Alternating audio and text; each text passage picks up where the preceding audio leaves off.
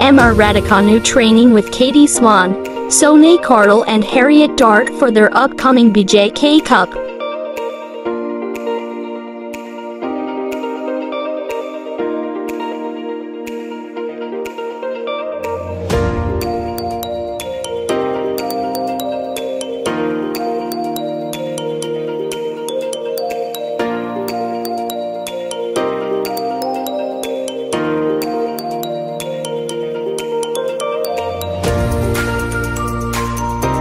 They are having fun playing spike ball too.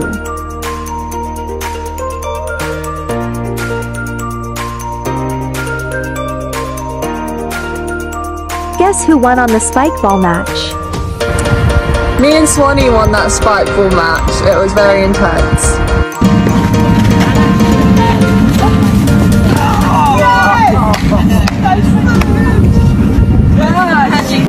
Good luck ladies for your upcoming BJK Cup.